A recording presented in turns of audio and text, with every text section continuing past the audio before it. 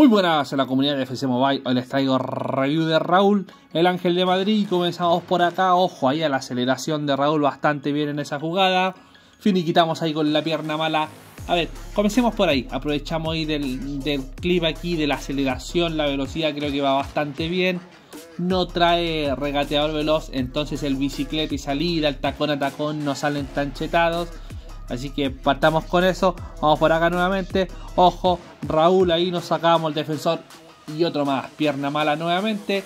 Es una pierna mala buena. No voy a decir que está tan chetada como, no sé, como la de Torres, Cantona. Pero es una pierna, a ver, mala, digamos, de aceptable para buena.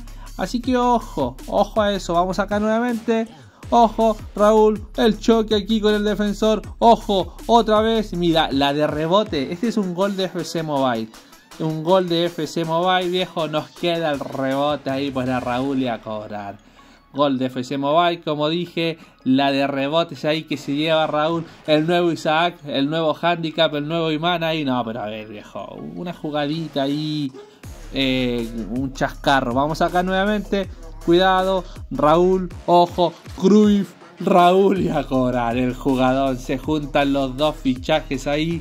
Ojo a la asistencia de Cruyff. Es el nuevo Cruyff. Tengo los clips, ya puedo subir la review también. Pero he decidido comenzar con Raúl. Eh, la de Cruyff a lo mejor la subo a la tarde. Eh, probablemente. Así que atentos al canal. Vamos acá nuevamente. Raúl, el rebote otra vez y le queda ahora sí. Ahora sí, otro rebote más para Raúl. Ojo, otro rebote más para Raúl. Cuidado ahí. Cuidado ahí con eso. A ver, la pierna mala dije va bastante bien. Se habilita lo que es extremo izquierdo y segundo delantero como posiciones alternativas. Pero a ver, la extremo izquierdo no sé, queda perfilado para su pierna mala. Que como dije es una pierna mala bastante aceptable para buena, pero no es para estar todo el tiempo perfilándose para la, eh, haciendo la diagonal y quedar perfilado para la pierna mala, la verdad. Eh, no lo veo así, así que yo te lo recomiendo como delantero. Es ahí donde la carta realmente rinde. Vamos acá, ojo, Raúl ahí en el área. Otro rebote más que nos queda, viejo. Otro rebote más que nos queda. Ojo, van tres jugadas. Van tres jugadas donde los rebotes van para Raúl. Cuidado, y no es un equipo, como dicen ustedes, handicap. No, estaba Cruz, estaba Ginola, estaba Henry, por ejemplo. Eh, tiene carta bastante chetada en la cuenta. Vamos acá nuevamente. Raúl, nos sacamos el defensor y otra vez la pierna mala. Bien, bien. Erré un par con la pierna mala. Entonces por eso no la coloco al nivel de las piernas malas de Cantona, de Torres. Eh, porque erré un par y un par clara. Entonces por eso digo que es de aceptable para buena la pierna mala de Raúl. Vamos acá. El córner. Ojo ahí ganando Raúl y el arquero. El atajadón del arquero ahí, viejo. Espectacular. Vamos acá. Raúl, el tiro y otra vez el arquero. Y otra vez el arquero. Vamos nuevamente. Cuidado. Buscamos a Raúl. El bombazo. Y ahora sí. Y ahora sí. El tiro. Chetadísimo. Muy buen tiro. La carta en eso. La verdad es que tremendo lo que dije, la aceleración y velocidad sprint, lo dije al comienzo del, video. Bastante bien también, creo que en eso muy bien. Le falta regateador veloz, pero bueno, igual va bastante bien. Movilidad de la carta, espectacular, viejo. Gira rápido, tiene buena movilidad. Eh, no sé, 8.5, 9 de 10 para mí lo que es movilidad. Posicionamiento, bien. No es una carta que baja mucho, es una carta que se mantiene siempre proyectada al ataque. Así que también bien con lo que es el, posicionamiento físico, aceptable, la verdad, aguanta bien la marca. No es una carta que, te lo tumben fácil, la verdad. tiene un físico bastante aceptable, por decirlo de una manera.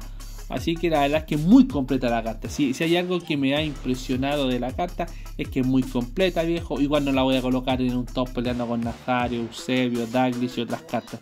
Pero sí, es una carta bastante completa que verán ustedes ahora sus estadísticas y, la verdad es que lo que es el gameplay y números se refleja bastante ahí en el juego. Y tenemos a Raúl, a ver, lo vamos a ver acá en render para verlo al 25 de entrenamiento, que es lo que siempre recomiendo, cartas en rojo, tenemos rasgo de estilo, tiro de calidad, le hemos dado lo que es destreza, eh, se ha habilitado la habilidad especial que es contra, acá está. Tenemos su valor de mercado, 182 millones se está vendiendo por 190. Esta carta va a seguir bajando de precio, así que a ver si lo quieres. yo te recomiendo esperar un poco, ¿eh? creo que no, no es momento de comprar. Vamos a las estadísticas, 140 en ritmo, 143 aceleración, 138 velocidad de sprint, bien, 128 en tiros, 133 finalización, 118 tiro lejano, potencia de tiro 140. 131 posicionamiento, regates tenemos 139, equilibrio 119, agilidad 157, bastante agilidad, reacciones 125, control de balón 142, tenemos lo que es físico, fuerza 105, salto 115, agresividad 69, ahí la verdad es que ese número se cae a pedazos, reacciones 85, se habilita lo que es segundo delantero, extremo izquierdo, a ver Está bien, extremo izquierdo el problema es eh, que queda perfilado para su para su pierna mala. Entonces hacen la diagonal y queda perfilado para su pierna mala. Así que y la pierna mala de Raúl se nota un poco. Tampoco es una pierna mala tan efectiva como otras cartas. Entonces hay que tener en cuenta eso si lo vas a ocupar como extremo. Yo te lo recomiendo como delantero. La verdad creo que ahí la carta rinde bastante. En la posición viejo. Eh, tenemos 4 en filigranas. Eh, acá está 4 de pierna mala. Altura 1,80. Tiene, a ver, no es tan alto, así que para, los centros y para, para las ratas no, no sirve. Viene con alto en ataque, medio en defensa. Así que bien, la verdad, alto en ataque, medio en defensa. Siempre viene bien eso.